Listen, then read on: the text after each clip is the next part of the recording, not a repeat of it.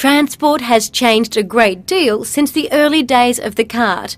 The cart was first used thousands of years ago and was powered by animals such as horses, mules, and oxen.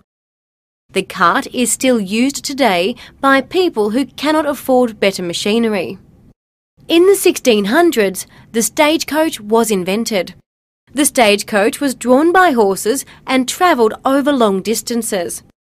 It was called the stagecoach because it travelled in stages. At the beginning of the 19th century, the first train was developed.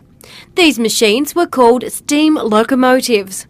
The steam locomotive was originally used to transport coal from mines. The penny farthing is one of the oldest types of bicycles. At first, the penny farthing was only used for entertainment, but as roads improved, it became a popular way to get around.